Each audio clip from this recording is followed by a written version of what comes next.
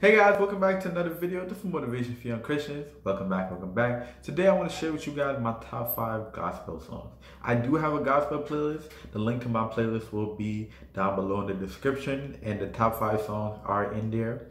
And get into my top five. Number one, My Worship.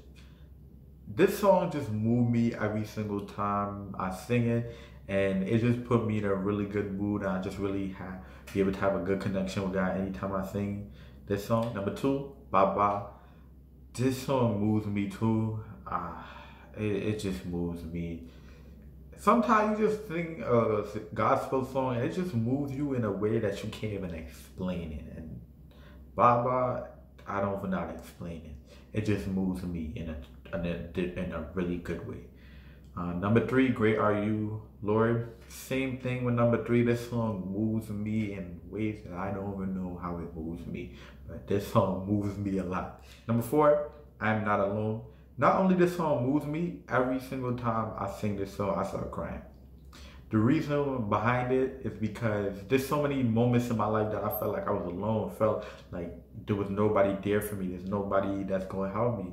And in those times, God always show up and anytime I sing this song, it just it just reminds me of all those moments, and that's why it brings me to tears.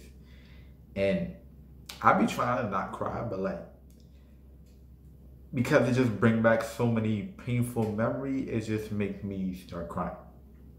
Number five, Excess Love. This song not only moved me, but sometimes it do makes me cry.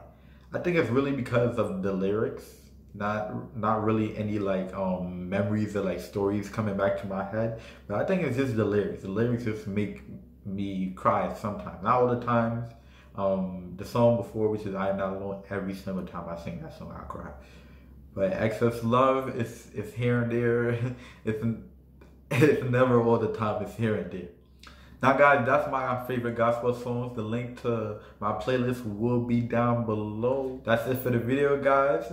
If you guys do have a top five favorite gospel song, comment it below. If you're new to this channel, like the video, subscribe, turn on your post notification. And this is Motivation for Young Christians. I'm, I'm